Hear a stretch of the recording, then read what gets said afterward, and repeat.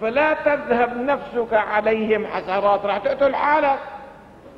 فلعلك باخع نفسك على آثار براكد وراه راح تهلك حالك. إن لم يؤمنوا بهذا الحديث أسفا.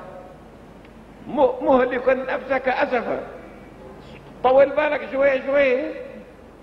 فهذا تعليم للداعي. الكن هذا. هي الآيات الآن لمين للنبي لما قلنا يا شيخي والله رحت على الجامع إيه ما حدا عم يجي على الدرس لك يا ابن الناس غرقانة في الجاهل في الجاهلية في العادات في التعصبات. النبي عليه الصلاة والسلام تم عشرين سنة شو أنت بيوم واحد بدك تعمل إيه، أمة محمد؟ هاي الطاولة اللي أنا قاعد عليها ساعة واحدة يعمل النجار؟ أنت مليت العرس بدك تجيب لك ولد؟ إذا ثاني يوم جبت ولد والله مرتي أنا عاد إسكبريس جبت الولد. إيه بيقولوا له احمس على راسك. شوف طالع لك قرن لما قرنين. لكل أمة جعلنا منسكا هم ناسكوه قال فلا ينازعنك في الأمر. بدهم يصارعوك ويحاربوك. فإذا صارعوك وحاربوك لا تتخذ من مصارعتهم معركة جانبية تاخذ وتعطي معهم حتى يعوقوك عن عملك الإيجابي البنائي. فاعف عنهم واصفح عنهم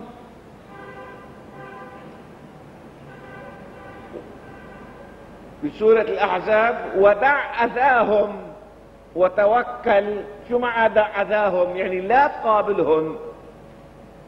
وإن جادلوك فقل الله أعلم بما تعملون.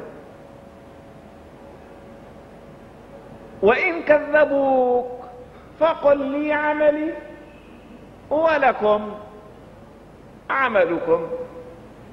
أنتم بريئون مما أعمل. إذا أنا مجرم أنتم مالكم مسؤولين عن إجرامي. وأنا بريء مما تعملون.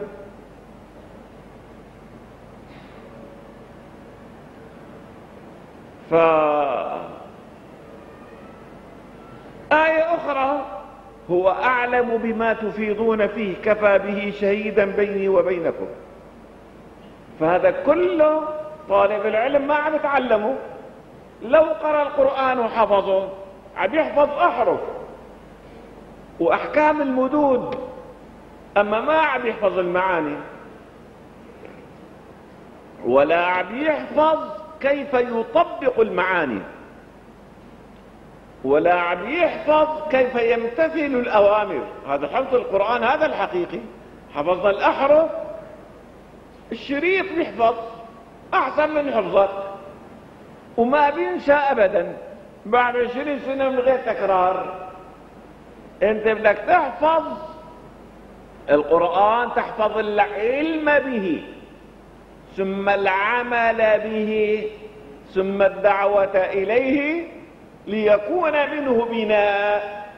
المجتمع الفاضل الموحد المتحابب المتآقي الذي هو كالجسد الواحد.